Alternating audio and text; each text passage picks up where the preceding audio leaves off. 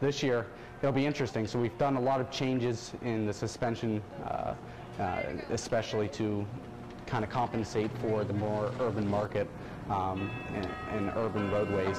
Um, so our goal this year is, believe it or not, to, to actually surpass anything this car has ever done and uh, actually top that, two, that uh, 5,000 mile per gallon mark. And um, I, I think we're definitely capable of that.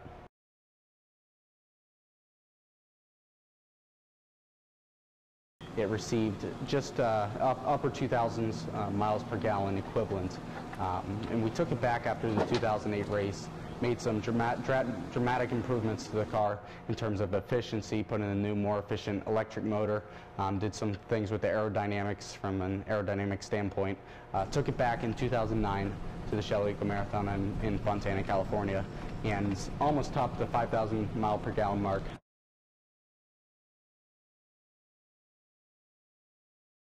The driver of Celeritas will be seated upright. Uh, you'll have the side doors, um, so it's it's really we're, we're really headed in the right direction as far as you know what the market is, the market demand is for for today, and trying to kind of centralize our focus on uh, today's public and, and, really taking our goal one step further of uh, not only making our vehicles efficient but making them you know useful today to today's uh, today's market.